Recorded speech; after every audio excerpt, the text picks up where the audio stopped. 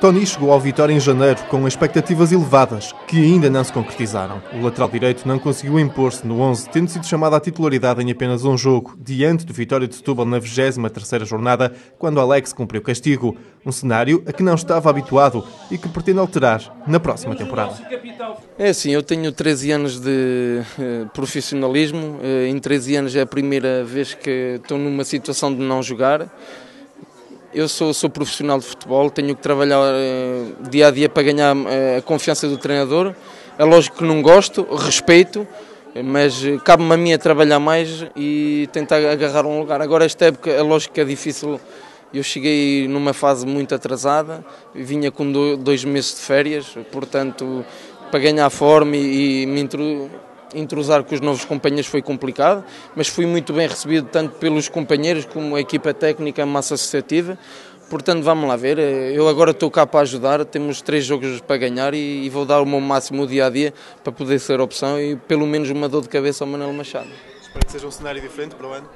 Eu, eu acho que sim. Eu tenho, tenho, tenho ambição. Eu sou um jogador muito ambicioso pela minha forma de estar e, e trabalhar e cabe-me a mim, cabe a mim a ganhar a confiança do Mister para poder jogar. É lógico que não é do meu agrado, mas tenho que respeitar. Até à final da Taça de Portugal, a 22 de maio, o Vitória ainda tem dois jogos da Liga pela frente. O quinto lugar é uma meta a atingir.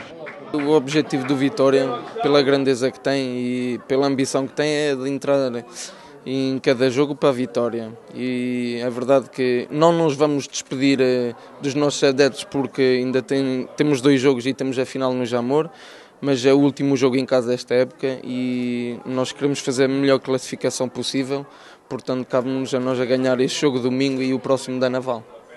Possível o quinto lugar, efetivamente, ainda garantir esse posto? Sim, é o nosso objetivo. Neste momento as nossas cabeças estão viradas para aí. É o, é o objetivo que o clube se propôs eh, é ficar eh, quanto mais eh, com uma melhor classificação. Neste, neste momento o terceiro e o quarto lugar é, é, é quase impossível ou impossível, portanto cabe-nos a nós a lutar pelo quinto lugar. Tony participou esta quinta-feira pela primeira vez na iniciativa É Sócio. O lateral teve a companhia de Fauzi e Flávio Mareles na visita à escola secundária Padre Benjamin Salgado, em João primeira vez cá com o Vitória, é verdade.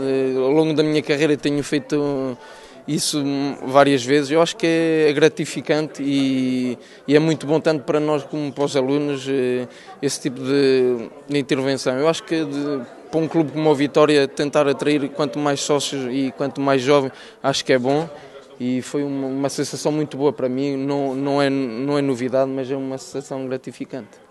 O projeto é sócio, associou-se ao terceiro encontro Le Sport Rapproche la Culture, uma iniciativa de quatro turmas da escola secundária Padre Benjamin Salgado que estudam a língua francesa.